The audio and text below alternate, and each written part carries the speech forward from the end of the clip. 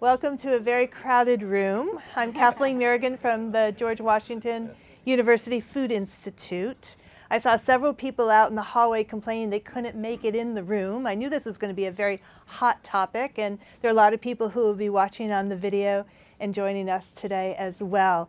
Um, wow, alternative proteins. Uh, it's no longer beef, what's for dinner? There's a lot of things happening, and I have the perfect panel to bring us into this subject matter, and I will certainly reserve time at the end for some of your questions. So be thinking as we hear the presentations today. We had a little call to start out to talk about how we were going to organize. And we decided um, we would start with Ashley, and she'd give us a little background on what our protein needs are, since she comes from the nutrition vantage point. So go yeah, to it, sister. great. And I have a slide, so I have some assistance if you want to bring up slide one. Um, and I am a registered dietitian. I've been a dietitian for about 20 years. One of the things that has not changed is nobody wants protein. Nobody wants um, better nutrition. You know, we all want better health. If we have it, we want to keep it. Um, and if we don't have it, we are, uh, in many instances, desperate to get it. But I think it's really important to remind ourselves of that piece because if we really had our druthers, we would probably eat whatever we wanted if we thought that we could have our, our better health from that part.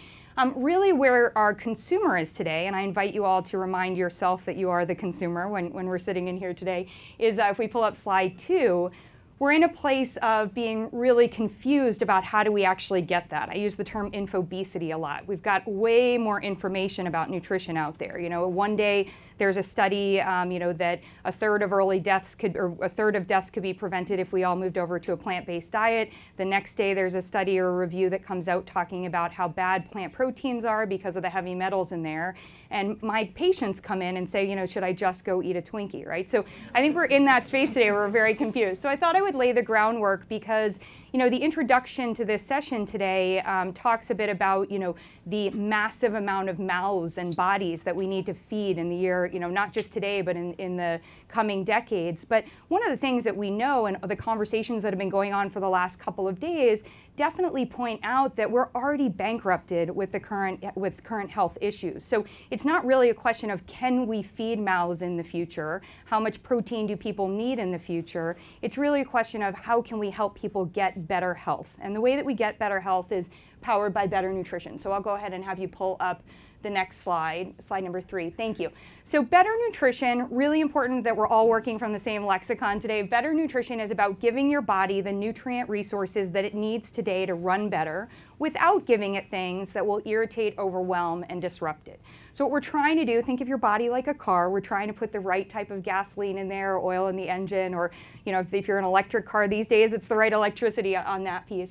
And the way that that comes down is by giving four things. So when we talk about protein needs, one of the problems that we have today is we have very poor tools, even at the practitioner level, for saying what is somebody's protein needs. If any of you have gone online or gone to a practitioner, they'll say something like take 0.8 and multiply it by times your weight in kilograms, right? Which is a whole other issue for many of us in the States anyway, to just figure out our weight in kilograms. We tend to like it better, but um, figuring that out. But that actually isn't helpful or healthful because that amount of protein isn't what we should be having at one time. It doesn't talk about the quality of the protein. It doesn't talk about the quantity that we're having at one time. If you consume too much protein at one time, which many individuals are in this country, we run into an issue. So um, some of the things we want to talk about today are quantity, quality, how, does the, how do the nutrient balances occur? When we consume wild salmon, we get in different nutrients than maybe when we consume a plant-based uh, burger, right? When we have hemp seeds, I like to call hemp seeds the wild salmon of the plant kingdom, but hemp seeds provide fiber, wild salmon doesn't. So we need to understand those differences. So the nutrient balance will be important. And then the frequency, are we pit stopping more often to get in protein? That's actually going to be a better recommendation from a health standpoint. So as this conversation unfolds, and sometimes we think that the answer to better nutrition in the future is just more protein, I invite you to remember what better nutrition actually is. It's about that balance, it's about that quantity. And in many instances today, in order to actually help people get better health, we actually need to reduce the amount of protein that they're taking in, but improve the quality. And certainly as we look around the world, the access to better quality, as well as in this country, the access to better quality protein. So I'm really excited to sort of open up because uh, everyone that's here today is doing some really exciting things in the space of um, better quality protein and certainly better options into the future. Great. Thank you. Thank you. So we have two innovators, two very exciting companies uh, being represented on this panel. And I'm going to start with Uma from Memphis Meats to describe his product, what, what he's up to. I, I told him in 2012 I gave a commencement address at the LBJ school at the University of Texas, and I talked about test tube meat. What did we think about it? And at that point, it was just on a sketch pad. There was very little out there, and now it's really exciting to see it's becoming reality. So walk us through a little bit about your innovation. Thanks, Kathleen. Uh, my name is Uma Valeti. I'm a cardiologist uh, by training. I trained at the Mayo Clinic, and uh, uh, I have to say you were, you were an incredible visionary back in 2012 when we started thinking about what was on a sketch pad. Um, the journey for me started uh, really when I was working on stem cells, injecting them into patients' hearts when they had a heart attack or, or a cardiac arrest to regrow heart muscle. And the idea was, can you grow food from cells? And as I started looking more and more into it, it became pretty clear that there was an enormous amount of work that's been done in this field in the medical science area. But there was also a pretty big gap to bridge to say, how can we think about this into food? Can we start thinking about growing, growing uh, meat from animal cells instead of growing animals? So Memphis Meats is a food technology company that's growing meat, poultry, and seafood from animal cells directly instead of growing the full animal. And you know, when I thought about this innovation, I was like really excited. The thought got into my head about 10 years ago, and I just could not get it out. Uh, and I realized that Winston Churchill talked about this in 1932, saying that instead of growing a full animal, why don't you just grow the parts of the animal that you eat? Um, so the idea was there for a long time. It was waiting to be put together into action, and that's kind of what um, our team has done at Memphis Meats, where initially started off in an academic lab, but then when we started to talk about this and write to uh, uh, one of the venture capitalists in San Francisco, they instantly loved the idea and said, you need to move your team to uh, the Bay Area. So that's kind of how we ended up uh, there in September 2015. And I want to just lay out the big problem. If you go to slide number four, uh, the demand for meat is enormous. It's a trillion dollar market as of now, and it's doubling in the next 30 years. So that requires about 70 billion animals to feed about six and a half to seven billion people now. And if you think this demand is doubling, then we're talking about 150 billion animals on this planet. And, and you think about some of the stats out there, think about calorie conversion. It takes 23 calories of grain to make one calorie of beef takes about a third of all fresh water right now. And thinking about that doubling just did not seem sustainable.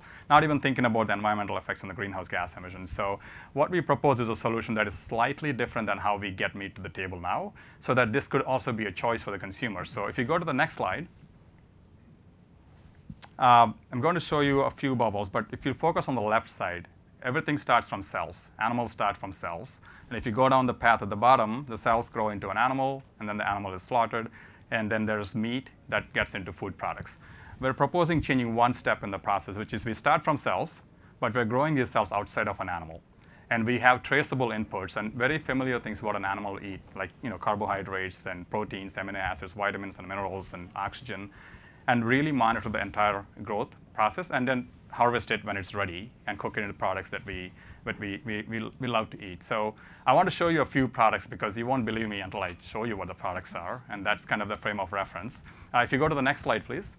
Uh, we first released this uh, in, in 2016. This was our initial product made out of beef, uh, beef meatball. And that captured the imagination of a number of people that this can be done.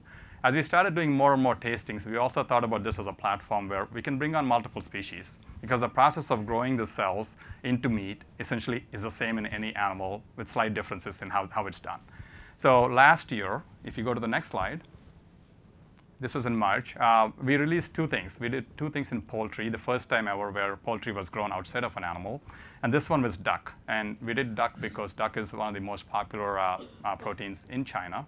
9 billion pounds of protein uh, or duck, much more than the rest of the world combined. And we are showing this so that you can see the texture when it's cut, you can see the fibers. And this is just done on a grill directly. Uh, we had a number of tasters from the Wall Street Journal also come in. And when you are a meat eater and you taste this meat, you immediately recognize this, this as being meat. So uh, we also did the most popular protein in the US. If you go to the next slide, please. Uh, fried chicken. So we did southern fried chicken. Um, and this was cut to show the texture. You can see the white meat fibers in there that are really giving us the bounciness and the texture that you expect in meat. So one of our goals really is to offer our consumer a choice of picking where meat comes from through a traditional process or the same product but coming through a different process, which we expect to have significant benefits on on human health, on the planet, and also on animal welfare. So it's an important choice to offer. We are still in R&D. There's no product that we're selling, but this is to show the potential of this, uh, of this uh, technology. So Kathleen? Great, thank you. Exciting. All right, we're going to you, Ethan. Thank you. Tell us about Beyond Meat and what's going on in your company. Sure. So similar to Uma, um, in 2009, I decided to transition out of one career I had, which is in the fuel cell sector. I worked on hydrogen-powered fuel cells for a long time. And the reason I was in that uh, field was around climate. And you know, I began to realize, though, that livestock was the larger driver in terms of greenhouse gas emissions, whether carbon or, or methane. And so it started to look at, you know, could I simultaneously solve for four really critical problems facing the globe by changing the protein at the center of the plate, not telling people not to eat meat, but by producing a piece of plant-based meat and doing it more efficiently than an animal can do. And so if you, if you want to go through the slides, I can walk through this quickly. So these four issues are really around human health, whether it's you look at diabetes, uh, heart disease, cancer. You look at climate, as I talked about, it's about 51% of greenhouse gas emissions. This is the most aggressive estimate. Uh, the, the less aggressive, about 18, is probably somewhere in the middle. Um, and then you look at things like natural resource, amount of water, et cetera. And you look at animal welfare, there's an increasing number of people that are beginning to think about those issues as they look at the protein at the center of the plate. So what we decided to do, if you go two slides forward, was to question whether uh, you needed to think about meat in terms of its origin. And you know, throughout human history, we've thought about meat, at least modern history, about 12,000 years forward, we've thought about meat as coming from a chicken, cow, or pig. Uh, but if we make a slight shift in our thinking and think about meat in terms of its composition, you can really do some creative things. Because if you think about meat, meat is essentially its amino acids, its lipids, its trace minerals, and its water. That's it. None of those things are exclusive to the animal. So why run them through the animal when you can get them right from plants? So we go to the next slide. What we're doing is essentially sourcing those same inputs, but directly from the plant. And we're running them through heating, cooling, and pressure, and that stitches them into the alignment of muscle or meat. And so we're building that meat directly from plants. Next slide. We have an innovation center here in Los Angeles. We call it the Manhattan Beach Project. One, because we're near Manhattan Beach, but two, I wanted to evoke the sense of urgency and scale uh, that we saw in the Second World War with the Manhattan Project. Uh, because this is an area that if we can solve this issue, if we can create a piece of meat that is indistinguishable from its animal protein equivalent, we can solve many of the issues in those four problems I outlined. Next slide. So our entire thesis is not to tell people not to eat meat. I think that's a big mistake. We never participate in Meatless Mondays or anything of that nature. What we do do is think about ourselves as enabling people to eat what they love. And so I have children who are 12 and 13. My son particularly has maybe five or six burgers a week, five or six sausages a week that are made from our plant-based meat. I wouldn't allow that if it were 80-20 beef. But I can allow that because I know there's no cholesterol, carcinogens, et cetera. So this is about increasing his protein intake versus decreasing it. It's enabling him to have greater choice. Next slide. So this is a very uh, long line, and this is not giving away product. This is a restaurant that opened uh, with, with uh, serving the Beyond Burger. It was the first uh, advertisement they did. So it just goes on and on. And my reason for showing this is to just demonstrate that this is something that people want to work, right? If we can create a piece of meat Thanks for without waiting, using everybody. the animal. You're doing Most people are like, okay, I get that. That's something I would want to do. It's quick. The thing I'll leave you guys with, you can shut this off and go to the next slide. When we got when, when we got into the meat case, which is where we sell our products, it was really important to me that I sell my product next to animal protein because I wanted the mainstream consumer to be involved in this, right? And I wanted them to go buy it. My number one goal was to not get thrown out. It wasn't very ambitious, right? I want to go in the meat case. We're in 25,000 uh, outlets now. We're in 19,000 retailers. We're in about 6,000 food service. In Southern California, in the, in the nation's largest conventional grocer, we are now the number one selling patty in the meat case. So more than 80-20 beef, more than Angus beef, more than grass-fed beef, more than turkey, more than chicken patties. And that's because the consumer is hungry for the solution, and we're working every year to provide it. Thank you. All right, we got the little emerging guys, and we've got the giant here. So, Tom, can you give us the lay of the land on protein as you see it? And these guys are not necessarily your competitors, but your colleagues. Explain that. Yeah, it sounds counterintuitive.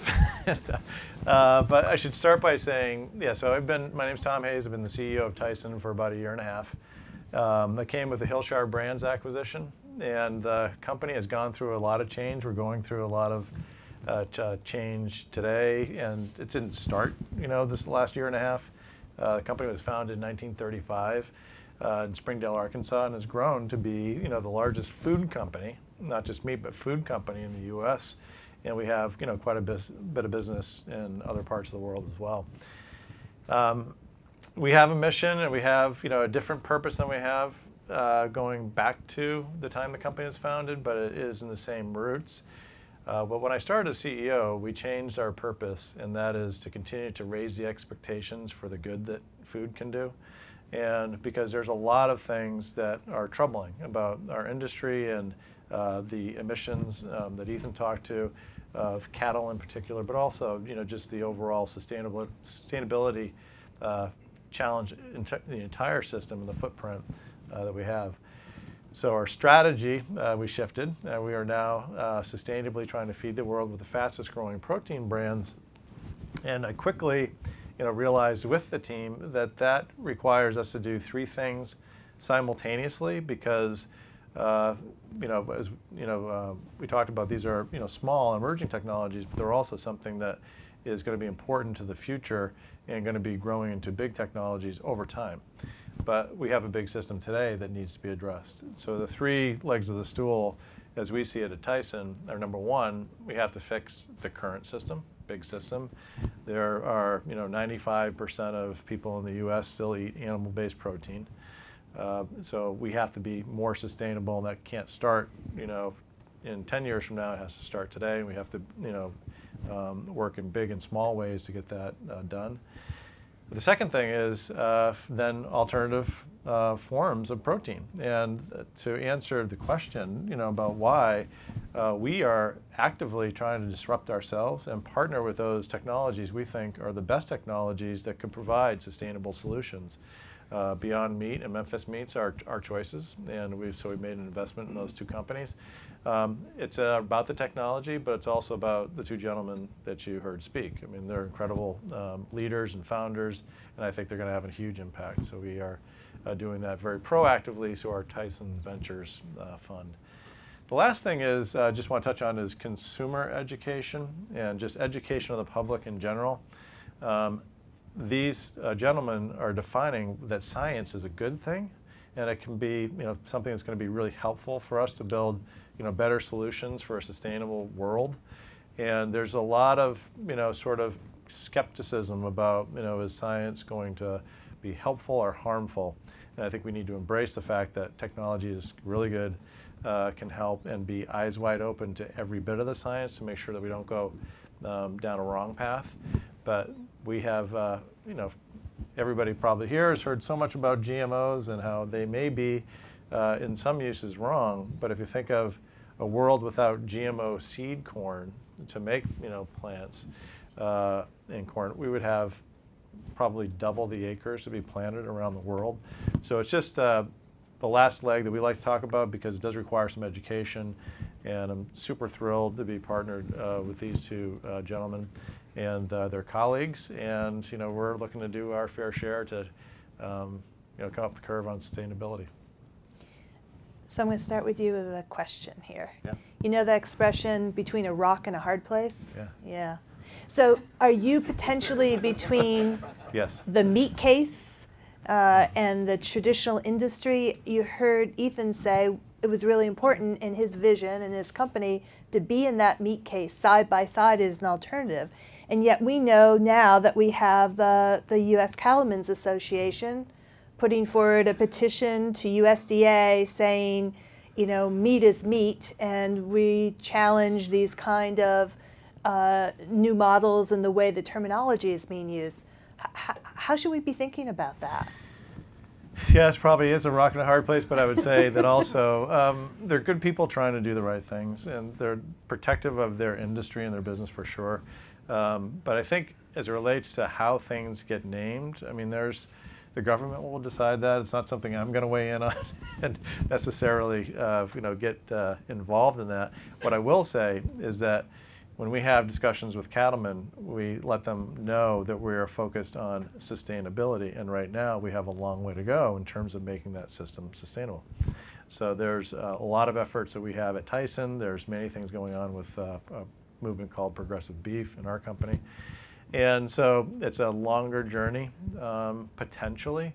But if you think about you know, where we're going together, I don't know when they're going to sort of merge into a platform that'll be sort of simultaneously scaled as sustainable. Um, we have a lot of work yet to do. I think probably uh, Uma would say on Memphis Meats, and we got to we got to accelerate and, and move faster but yeah, it does put us in a, a, bit of a tough spot, and but that's okay. Um, leaders are never going to be sort of you know in this easy place where everything just sort of falls into place, and you don't have to uh, get into the debate. And uh, I do speak to our cattlemen, our hog farmers, and you know our chicken farmers, and they ask questions about why. And for uh, everybody in our company, as well as our partners, we talk about choice. Uh, that we need to have a consumer choice, and it's not a this or that. It's a yes and. We want to make sure that we're, we're giving consumers choice.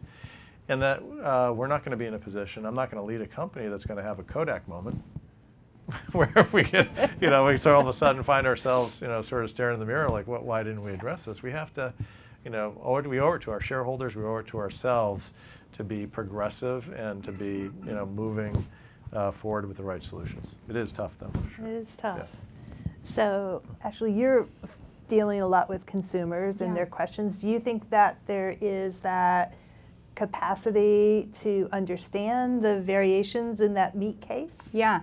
And once again, I invite everyone in the room to remember that we are all consumers, right? So um, I think we definitely understand. Um, I started off my career working in advertising and sold sugared cereal to America and told people it was good for them. So I understand the transition of you know how, how we need uh, education um, and to allow ourselves along that timeline. I think some of it is also around the vernacular of saying things like even alternative protein or alternative meat. So what we have to remember is that um, plants are do provide uh, protein. They provide the amino acids that any animal uh, we ourselves are humans are animals uh, create and build into protein so i think that you know helping people you know, if the cattlemen are talking about meat is defined in a certain way, that's actually not truthful. What we are talking about is the human body needing protein. There isn't a human body need for meat. And so I think, you know, having that conversation with them and thoughtfully being able to say, we want to help you create the better quality meat so that you're still, that product is still available.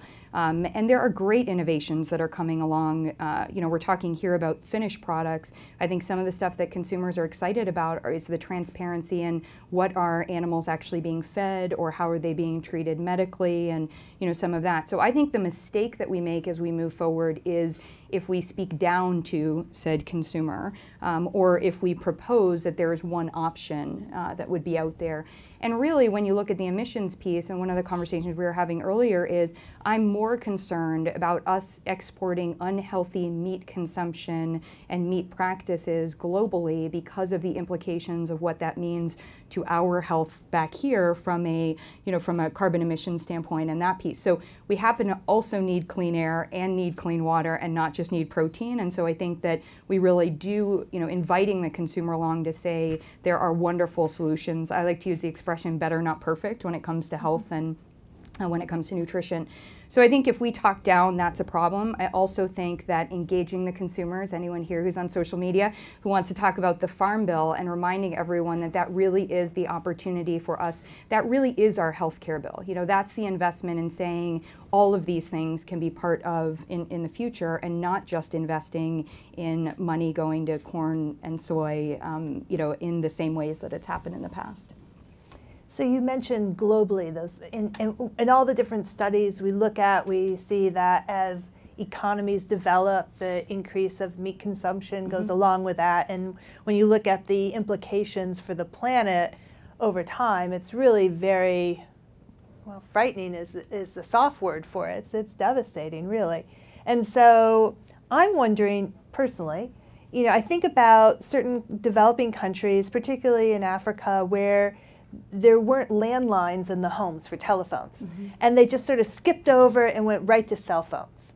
Do we see that potential in these alternative mm-hmm. proteins? So, so mm-hmm. I'll start with our cardi- cardiologist yeah. here.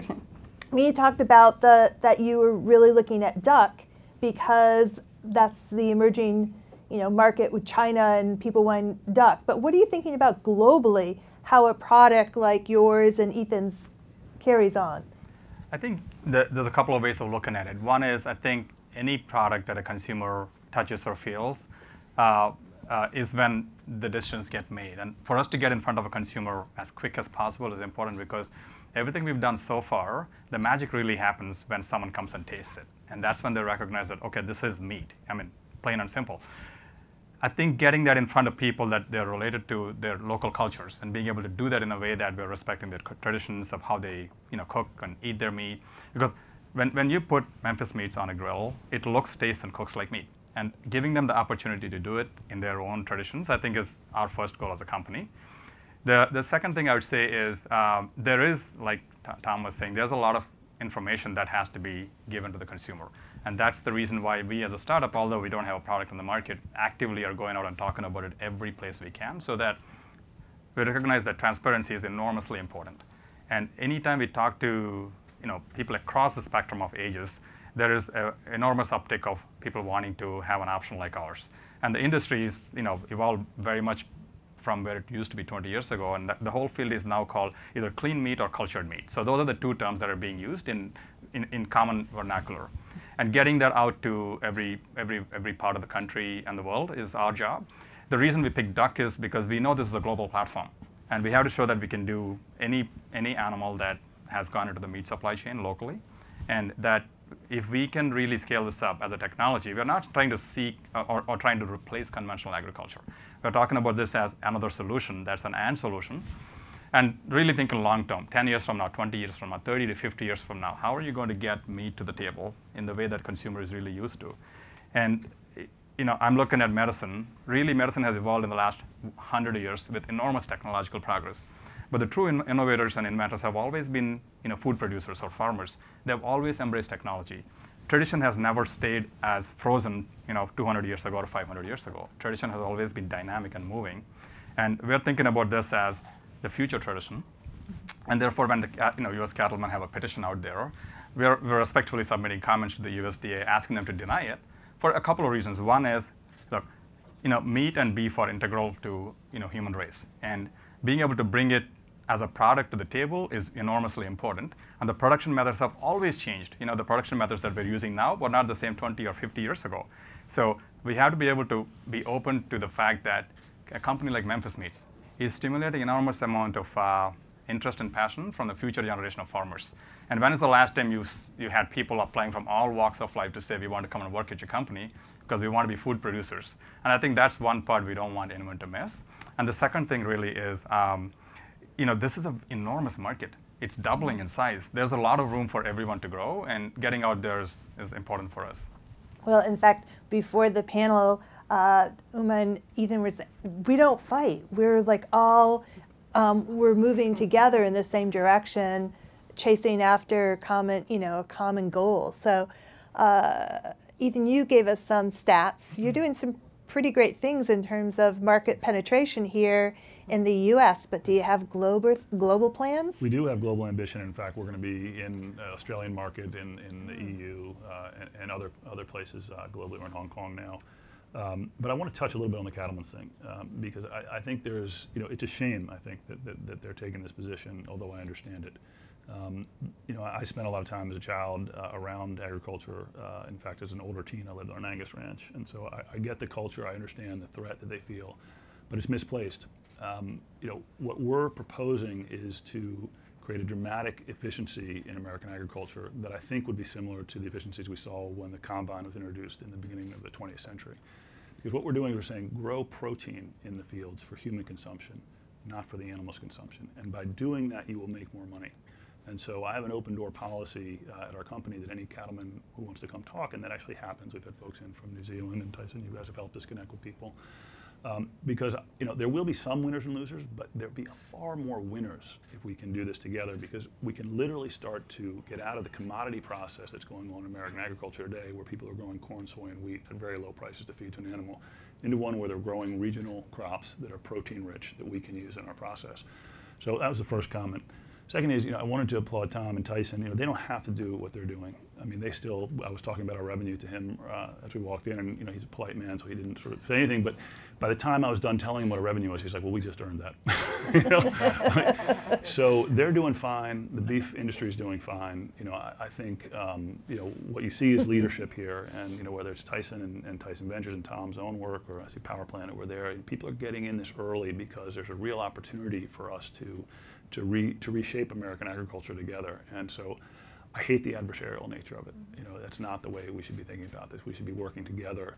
You know, I was on the phone with Texas A&M uh, recently trying to go through what crops we could grow on marginal lands. And marginal lands are three things. There's too dry, it's too wet, it's a chemical imbalance, right? So you can grow crops on each of those lands. You just define the right crops. And maybe there's some extreme you can't, right? But then you can separate that protein from that crop, and then you can give it to us and we'll put it in our system. So there'll be very few losers and a lot of winners if we make this conversion. So, Can I just add to that real quick? One of the things that, I don't know if the, uh, I had a chance to talk to uh, Paul Hawken. Um, I don't know how many of you have read, uh, read the book Drawdown, and he talks about uh, using the leverage that you know cooperation creates in order to make things better, versus the adversarial nature of things. And you know, however you want to slice it, we have a challenge. And he says, look, the problem is well defined. we don't need anybody else to like further define the problem. What we need is you know people that are going to actually you know get in the game and help solve it. And I just wanted to build on you know what Ethan said because that is to me a very uh, powerful concept, and I just uh, totally embrace it. I, think it's so important from the health standpoint. Um, people are failing, right? They're they're investing time, money, effort, and trying to get that better health. And when they're not getting the results, they're turning to the cardiologist, they're turning to me and saying, "I've tried all this stuff; it's not working for me." So there are going to be different options that need to be available for different people. And I think you know the, the cattlemen's piece, the dairy, across the board. These are um, these there are there's a desperation of they don't see their vision into the future. So as a company that's talking to them directly, I think that part is great. But I think we have such a desperation at the healthcare level, which is crippling our country from a not just from a um, financial standpoint, but from a potential to be competitive in the future, from a potential to have healthy individuals get into our military.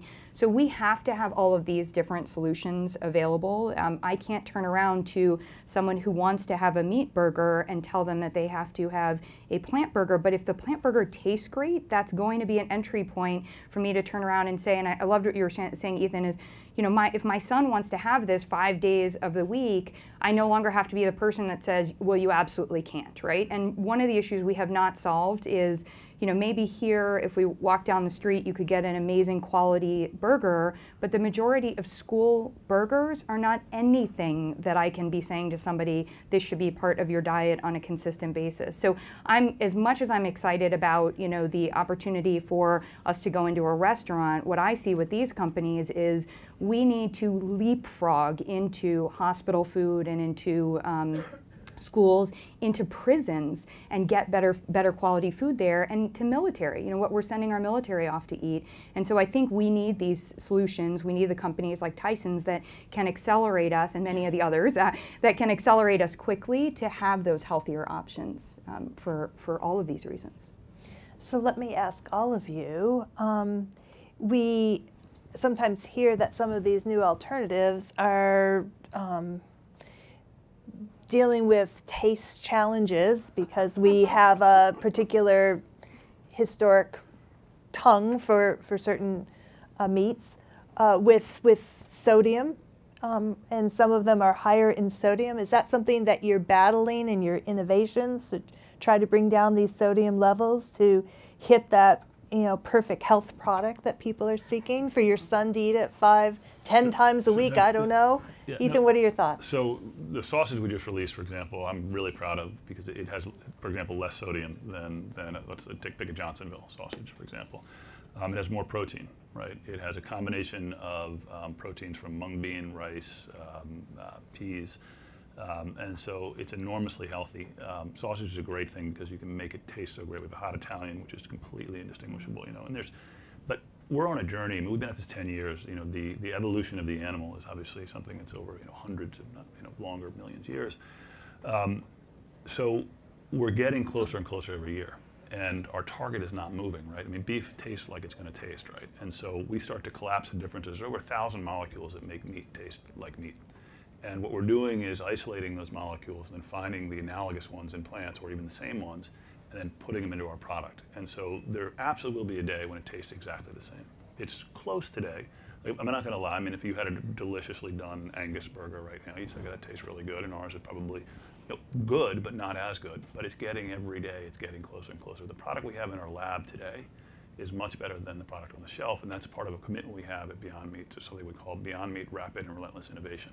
We want to make obsolete the products on the shelf as soon as we can. Mm. And so we've done that, and we're going to be releasing new products this year that will, will prove that point. And Tom, that goes to Tyson. So you have this venture fund you're not the only big guy in town with a venture fund. Mm-hmm. Cargill, others, over $10 billion last year in the US in, in venture capital in food. Um, he can innovate faster than you, perhaps.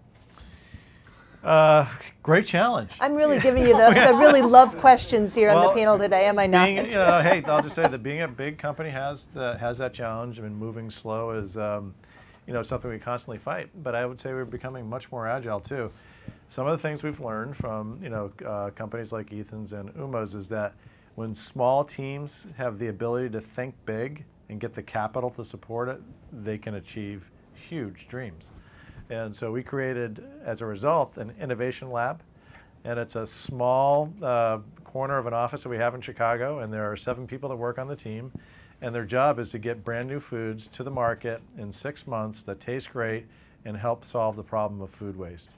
They use uh, spent grains mixed with a little chicken and some other things to create you know new products. Uh, one brand new one that's coming out is called Yappah, which that word is derived from you know in the Andes there's the farmers market when they have something left over a slightly more they give it away and that, that uh, wasted foods is called Yapa. And so that's what we learned because we know that if we just put it in our engine for sure, um, our stage gate process would bring, you know, these, these gentlemen to tears with us, so that might work. And we got to get that faster too. But I would say that you know challenging ourselves through the innovation lab has been very helpful. Is your innovation lab when you get the big picture on protein? Are you also thinking insect protein, perhaps feed for chickens? Sure, we thought about feed for people. Yeah. Who knows? You know what's interesting is if if you think about crickets, mm-hmm. they are uh, high in protein, but per 100 grams not as high as chicken. and so, and interestingly, the water usage is about the same. So you're like, well, I don't know. If I don't know if crickets is the right answer, but we are we are looking at we are looking at everything, and uh, it is it is a very fascinating space. Uh, lots of solutions are going to need to be on the table if we're going to make progress. Part, part of the benefit of working with Tyson is that they do their innovation center in, in Springdale is pretty amazing, and so I love going there um, because you know as much as we move very quickly these guys know how to make meat taste great, and uh, they've been doing it for a really long time.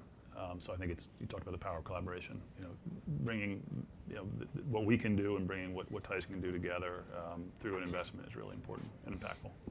So just to add to that, Kathleen, you asked about taste, and we are, we are very finely tuned beings over the last thousands of years. Where I think our palate is probably the best sensor in the world that can sense what meat is and what isn't meat. And one of the advantages we've seen with uh, with with Memphis Meats is when we are growing these animal cells and the final product is animal cells, we don't really have to tinker a lot with taste.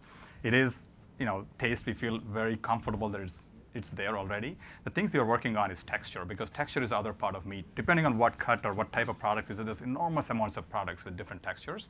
That's where most of our work is focused on right now. And we are 100% uh, comfortable saying that there's no problems with taste, but texture, there's a lot of opportunity for us.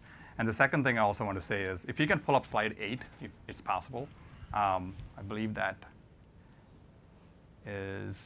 It may take them a while. Uh, the next slide, please. Maybe this is the one. Um, no investor is going to put money without tasting, right? So we had to be sure that when we brought investors in, we had to for the first time ever for any food company, we said we're going to build a big tent. We want to have people that represent the population in the world, where we had financial investors who saw the enormous economic opportunity of being able to bring meat to the table in this process.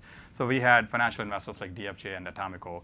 We also went to impact investors who cared about sustainability, water, land, and also animal welfare. And we had, we had them come and taste the product. And we had Gates and Branson and their teams join, and Kimball Musk's team. And then, then we went to meat industry incumbents, Tyson and Cargill, and said, look, you guys know meat better than anyone in the world. We want your best chefs to come and taste our product and then decide. And that's kind of what happened. They bought their, you know, their, their, their culinary teams and they came and did the tastings. And you know, it's been incredible to get everybody under the same tent to say, look, this is a solution for everyone, you know, globally.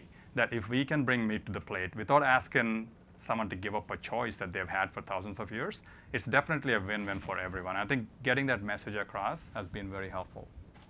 So I'll ask one last question, and then it'll be your turn. So Ethan, for you, really, um, you heard Uma talk about clean meat. That's one Mm-hmm. way people are referring to this.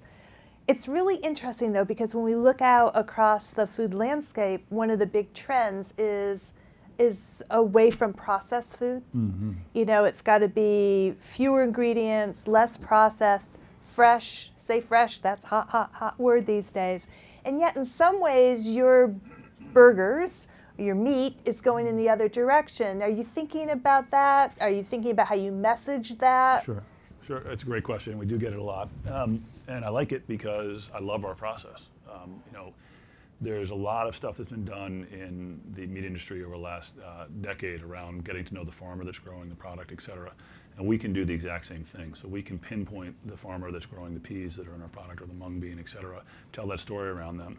We explain that this, this protein is going through really three simple steps, heating, cooling, and pressure there's a documentary filmmaker that's doing something uh, where we're, we're in it, and I have to go and, and watch the entire process of an animal being harvested, basically. And then the owner of that facility comes to our place and watches our process. So it's important to keep in the front of your mind that there's always a process, and it's a question of which process you're more comfortable with.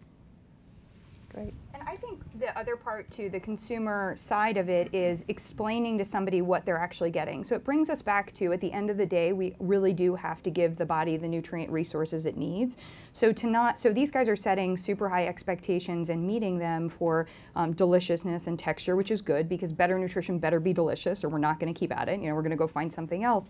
But to set the expectation that a burger um, that an animal burger is going to give you the same nutrients that a plant burger is is going to be a mistake. And so I think that we've kind of maybe veggie 1.0 was calling everything the un, you know, the unchicken, the unmeat, that kind of a thing. And what we've realized is, and I have to do a lot of work when I have uh, clients come in, explaining to them that they have to actually understand what it is that they're taking in. So the amazing part about taking in that burger is you can get fiber, you can get in, um, you know, the coconut oil, or if you have algae in there, you're getting in essential fatty acids. You can get in these different nutrients that with a, a burger, you might have to top it differently or do something, you know, you wouldn't be getting that part in. So I think, you know, the we've seen it in the non-dairy uh, milk space, and I think we're definitely going to see it in this space, which is you have to just be really clear about what your particular product delivers and not have it compare. You're not comparing chicken and cow here. You're really just talking about we have an awesome burger for you, and here's what it's going to deliver nutritionally. So, unbelievable resource people here on this panel who would like to ask the first question. We are passing a mic around, this gentleman right here. So, if you can just wait for the mic because people are listening on video. Besides the benefits of the carbon footprint and nutrition, can you talk at all about what you think will happen to pricing? In other words, will it be cheaper uh, for people to consume protein? I don't know how you per ounce or pound or broiler or however you guys define that. Yeah. So, so um, Uma and I share a couple of common investors, and one of them is Gates. And, and Gates invested in our company in 2012, and he gave us two pieces of advice. Um, he said uh, to go international as quick as you can, which we're trying to do. And second was to drop the price of the product below meat as soon as we could. Um, and you know, you, I sort of scratched my head. Why is our product more expensive than me? That makes no sense. If you believe all the things, we'll put up one of the last slides I had. Uh, if you believe all the things I'm saying, that you know, taking the animal out, the animal's inefficient, all these other things, you know, we should be dramatically cheaper. We're not, right? And the reason for that is is, is a scaled supply chain. So, you know, if you did a map of the United States and looked at all the slaughterhouses, there'd be a lot, right? You look at the map of the United States and look at all the separation facilities, which is how we get our protein. There'd be very, very, very few, right? A lot of our stuff is done in Europe uh, and in Saskatchewan and, and, and Canada. So it's the lack of availability of those resources that keeps our pricing high. As soon as those come into the market, there's no material obstacle to us dropping the price below meat. And I think things get really interesting then, particularly in Asia and India and, and elsewhere. Anyone else on that? I'm just going to mention one thing. I've been a part of a several year effort, but it's a UNEP initiative, United Nations Environment Program called TEEB Agri-Food, and a big report coming out in May, and it's really trying to come up with a common framework for putting a value to externalities in food production. It's involved nearly 200 scholars across the globe. And so part of that pricing too is what's really at the at the ticket that you're paying at retail and, and what's not. Mm-hmm. So yes. Yeah. Um, Dave Heber, UCLA. I was just going to bring up the point that you know maybe the standard for the beef that we're going to produce, and we brought this up on Sunday afternoon as well, should be the original meat that humans ate, which was all grass-fed animals. And uh, when you look at the content of the fat in those animals, it's lower, it's higher in omega-3. It hits a lot of the health issues that you mentioned, and it's really the traditional meat that we ate. And you have an opportunity when you're starting from scratch to do that. And the other point I want to bring up to Tyson was the issue of uh, regenerative agriculture, where you take care of the microbiome of the soil as well as the microbiome that's in our bodies. And so I think there's a lot of opportunity here with a clean slate to hit the taste, but also to hit a number of health impacts that we've never been able to hit yeah. before. I'm interested in your comments on that. Absolutely. Yeah, I think that's, you know, for um, all ideas are worth, you know, considering. And I, I think the, interesting thing is, you know, talking about the soil and doing the full supply chain, you know, analysis. Um, I think that's what you're talking about. Is you know, what is the cost overall, whether it's uh, you know money out of your wallet or cost to the environment. And we are uh, taking that very seriously. We just uh, introduced this past year um, the uh, an initiative, which will be a commitment to make sustainable uh, regenerative agriculture out of two million acres, which that would be about the amount that we need to feed our entire uh, chicken supply chain. And so uh, it's not easy to figure out how to do that. There's a lot of nutrient management that goes into it. But as it relates to grass-fed, I think you know that becomes. I mean, it's very popular all, all over the world, but it's uh, because of the abundant grain, right? In the U.S., we've we've sort of become, you know, just uh, from a taste perspective, you know, really, really focused on. And then, by the way, a lot of people that come to the U.S. from other countries like the like the corn finished you know beef as well. But abs- I think all ideas are you know worth considering that can contribute. Spices, I would say, is the other yeah. big thing because we are talking about salt. We, you need the you need the mic mm. in order to. Okay, so the, the point was also don't forget yeah. spices. Yes, in the back, please. Yeah, hi, Peter Bryant. Yeah, I was just wondering about you know, the, the, elephant in the room or juxtaposition, I guess, is you know, all the animal activist information that's being flooded in the web about cruelty you know, in the supply chain with you know, traditional methods, not just in the US, all around the world. Um, how does that play into this? How do you respond to that? Because you know, there's a lot of noise in the system about it, right? You know, both from Tyson's perspective, but also from alternatives. All right. Well, why don't we How's that driving the market? start with Tom and then go to Uma because even though it's test tube meat, so to speak, it's a cell, it still is uh, from the animal. So let's get yep. both of them to respond. So I didn't I didn't hear the first part of the question. Well, it's really just a juxtaposition. You know, you have you know.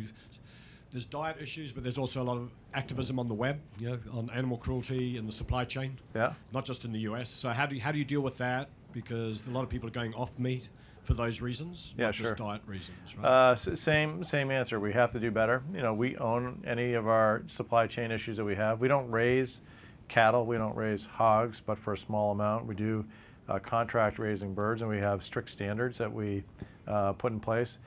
And we have people that don't meet those standards uh, occasionally. I would say it's getting a lot less than um, before we started down this path. Um, absolutely, I think that you know the animal welfare part of this is not small and we, you know, uh, do raise animals for food, um, and that's not anything that we're hiding from. But to the extent that um, you know, they should have a good experience. Should have one bad day in their lives is the way that we think about it. But that's the uh, that is absolutely something we got to continue to make you know uh, forefront for everybody that is in our supply chain. I, you know, there's a point to it um, as well that is uh, we have a real problem with access to food in this country um, and around the world. And so one of the components that is incredibly cruel is somebody not having quality access to quality nutrition. So there is no dispute that the best thing for any human body is a plant-based diet, but that that's not plant monogamous, right? That means that we know that we need to get certain nutrients from plants and we need to do that consistently.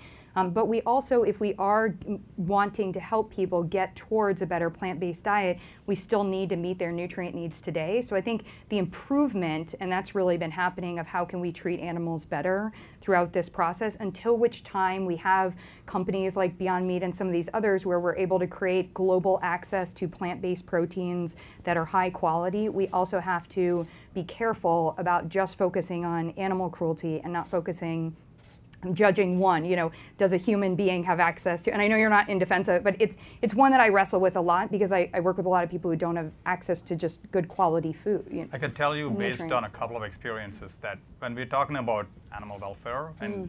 and people love eating meat they immediately see this as what I don't have to give up eating meat, but you can still have animal-based meat. Uh, so we think about this as raising cells, animal cells, uh, and I think that's enormously important to address the issue you're talking about. In the long term, we see people, if they have an option to choose meat that came to the table through the process of slaughter or meat that came to the table without the process of slaughter, we believe they'll absolutely make the switch. But I also want to touch on what Ethan said you know, growing the supply chains to be able to scale to that kind of production, it's going to take a long time. So there's multiple generations of farmers that can also continue to look at this and say, hey, will I be able to tell my, my kids and my grandkids that we were in support of an innovation that was all going to help us get to a place we want to be? Mm -hmm. I think that's, that's the big picture. And secondly, to answer David, your question, the innovation cycles we can talk about, for us to do the whole process of taking the first cell and actually harvesting and cooking it can take anywhere from three to six weeks. And if you think about that for animals, it takes anywhere from three years to seven years to change breeds and selectively breed and do, you know, you know, gene editing, let's say. The, the, the, rap the rapidity of our cycles is enormously fast, and we can get, you know, the profiles you're talking about, whether it's grass-fed or corn-fed, or go back to, you know, bison meat profile. Um, we feel like the next generation of our products can also start addressing some of the, the, the health benefits that we can try to think about in, in growing of meat. I have a question right here in the front row. We need the mic. Oh, okay. After Lance, then the front row. Go ahead. So uh, one of the one of the challenges with producing lots of animals is the use of antibiotics, and because that fuels the growth of drug-resistant bacteria that can spread to us and cause drug-resistant infections. And Tyson's actually been a, a, major leader on this issue in recent years, and, and uh, it's been really inspiring to see what you've done on poultry. And I just wondered what your what's your vision for the future in terms of pork and beef, in terms of getting rid of those antibiotics and uh, you know producing a safer product? Sure. Yeah. Um, let me start with on uh, the poultry supply chain. It was really hard to get to where we, we wound up, and that's uh, the team that was focused on that has been doing you know incremental steps uh, year after year after year. You have to run an incredibly clean operation to do it. And we just said uh, about two years ago, let's press to go the final mile and get it done because uh, antimicrobial resistance is an issue that we want to solve. And there's not antibiotics in chicken that you would receive, you know, even from companies that use it in the, the process in the, in the in the finished goods. But we thought, you know, as an overall um, uh, issue for us to be a part of, we wanted to get it out of our system on poultry. It is more difficult, you know, as you talk about hogs and, and cattle just because of the life cycle. Um, however, we also offer products that we are trying to get behind to, to grow in terms of sales. The brand for anybody that wants to buy it is called Open Prairie. Mm -hmm. So Open Prairie Natural is uh, no antibiotics, uh, natural pork and beef. And those are um, items we're trying to continue to get behind, as well as working with you know, farmers to continue to develop technologies that allow them to uh, take antibiotics out of the system. So it's a, it's a harder problem to solve. Anybody that wants to help us, you know, get there and solve it, happy to, happy to, uh, you know, get your, get your help. Great. Okay, right here. Hi. Um, so my question is also for Tyson, and um, it's specifically about ag gag. And for those of you in the room who may not be familiar with the ag gag, I only learned about it this year. There are many states in the United States where it's a federal of- crime to take photos or video inside of a meat production facility. And my question is, one, how how does Tyson explain to the consumer the benefits of the ag gag?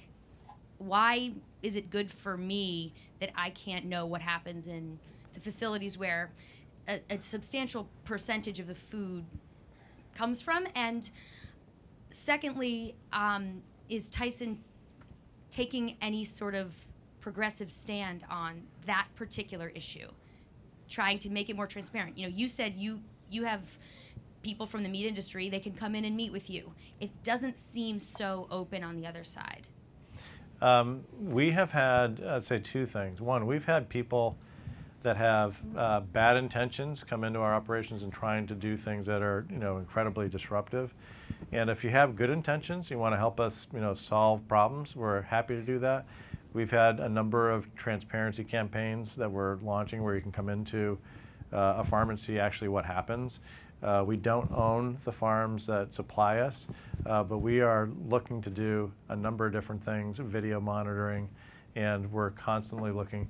Ag gag, I don't know that uh, we would be aligned with that. If I don't, uh, we haven't heard that term come up a lot in the, you know, uh, our setting, but uh, we are more and more transparent. We believe that that is absolutely necessary, and we have to continue to move it back up the system because that's what consumers want. That's what they expect.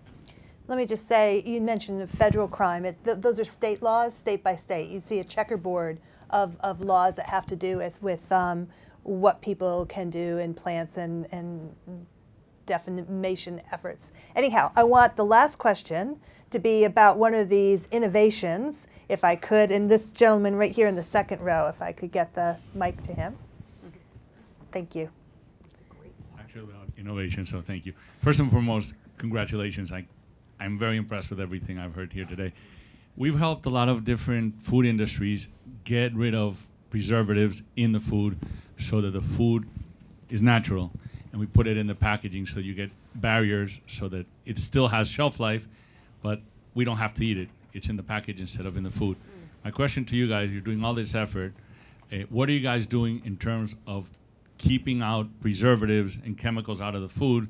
It's very easy nowadays to do with the right packaging. What are you guys doing so that you can have a shelf life, especially if you're going to start exporting, you're going to go to different places where the logistics is complex and I don't know, there's not refrigeration or that you need more days. Bottom line is take the preservatives out of the food and put it in the packaging. Are you guys looking into any of this? Yeah, we're absolutely looking at that. Again, we're not on the market, so I'm going to let Ethan talk about how it is to be on the market. He's like, we got it. It actually works great. But here's a couple things I want to point out. What we do is we take, um, you know, we take conventional meat, organic, and also our meat, and just put it on bacteriologic plates and let it grow out for a week, actually 24 hours, 48 hours a week, a month, and see what's growing. And because in the process itself, there's like very few chances where contamination can get, it, get in uh, we don't see bacterial growth or bacterial colonies, whether you think about salmonella or E. coli. And I think that does two things. One is the food itself can be, I think, significantly lower in, anti, anti, uh, in, in, bacterial load, which requires minimally, uh, minimal use of antibiotics, if at all. But the second thing it does also is many other times when you have preservatives in meat, it is to de decrease the log counts of bacteria. Mm -hmm. And we think that because this innovation doesn't really require us to have uh, the risk of contamination, we think the need for actually having preservatives is dramatically lower. So we're very excited about that. I think the supply chain uh, uh, um, implications of that are enormous. The cold chain implications of that are enormous because we leave this at, at, room temperature and we're still not seeing the bacterial growth. Okay. So Ethan, last word, please. So, so um, Don Thompson, who is the former CEO of McDonald's, is on our board, and, and his wife and, and Don and myself were all friends. And, and, several years ago, I was going on and on about our innovation and, and the lab and all the great stuff we're doing. And, and, Liz Thompson stopped me and said, you know, innovation is great for my iPhone, but I don't want to put it in my mouth. and I just love that quote because, you know, all the amazing innovation we're doing, at the end of the day, mom has to be comfortable putting on the table, pretty much, right?